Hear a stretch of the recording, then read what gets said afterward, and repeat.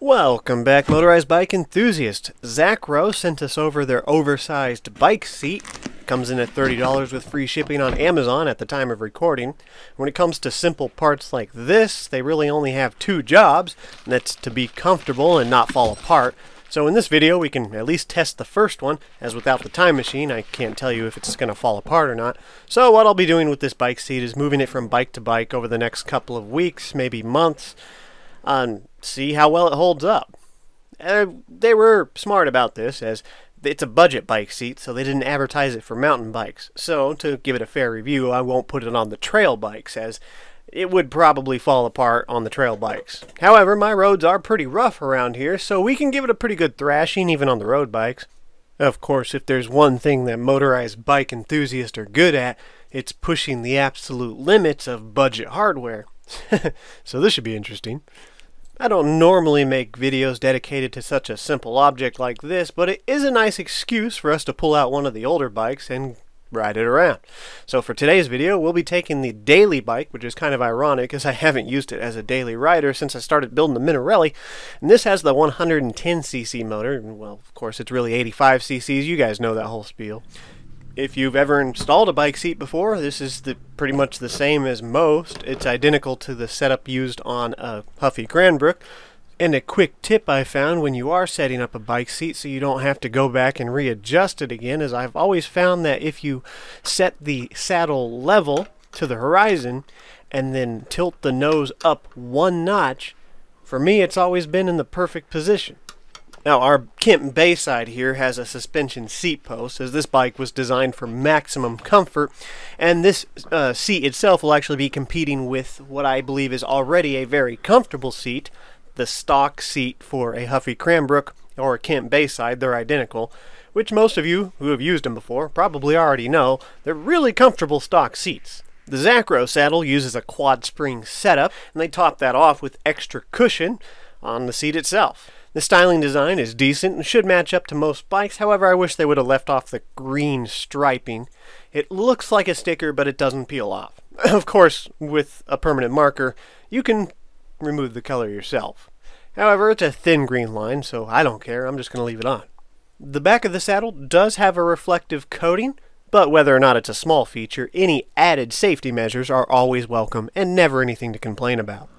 So with all the basic stuff out of the way, let's go ahead and take it for a ride on some of our crappy roads with the Daily Driver.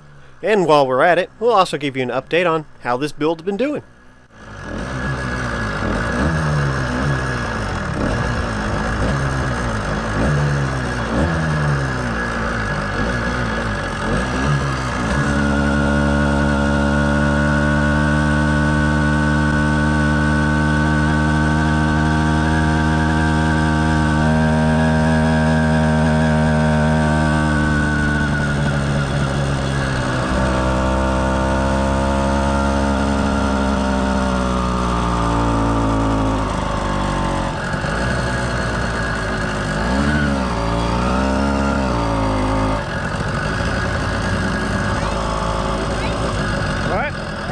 You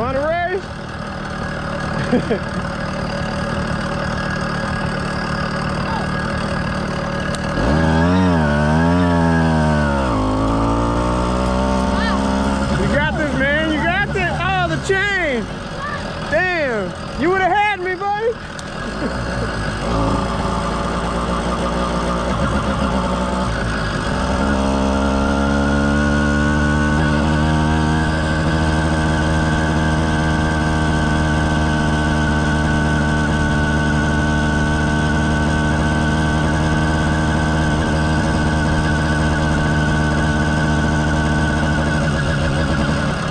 Tell you what guys, I really did forget how much I enjoyed riding this bike. I might have I might have taken it for granted, I don't know. It's just so comfortable. The seat's doing great by the way. I mean my biggest concern with this seat is how long it'll last. And you know we need a time machine for that, but it's really comfortable. I can give it that. The price is right the extra padding they put on it makes a bit of a difference. Yeah, I just I mean, not only was this a comfortable bike to ride, but it's just really relaxed. It took a bit of work on the motor to get it to run decent, but now just get on this thing and chill. And if you need to hit the throttle for some reason,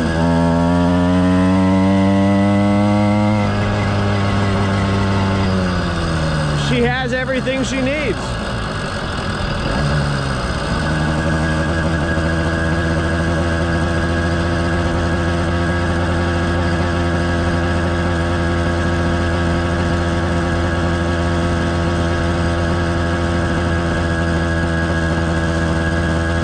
That is not a bad cruising speed, and the motor's pretty smooth.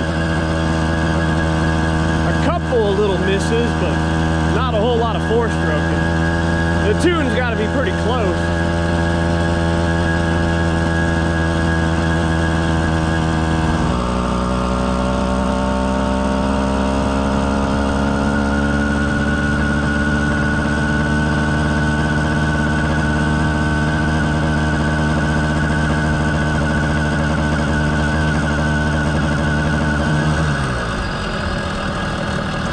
Also, for some reason, when I'm on these cruiser style bikes that look more like, you know, a regular bicycle, I feel like I can go more places without worrying too much about drawing attention. I mean, I even have a pipe on this one. It's just a cheap knockoff. But with the silencer, it's a really quiet bike. I know the camera might make it seem like it's loud, but just the simple fact that you can hear me talking should give you some idea. I can't get very far down this, but it is pretty. I took the Eagle One, our, our off-road scooter. Yo, I took it all the way down to the river. Furthest I ever been down this. It was going through that grass. It was crazy. That thing is ridiculous.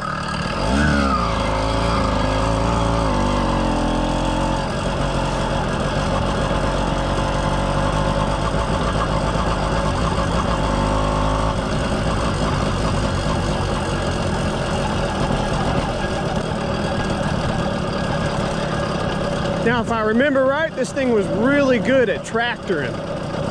So let's see if it can tractor through here.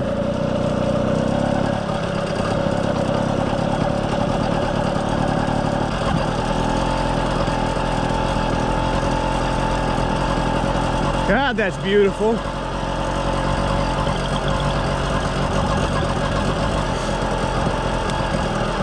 Man, I really hope I set the color profile right on my cameras. I hope you guys can see this.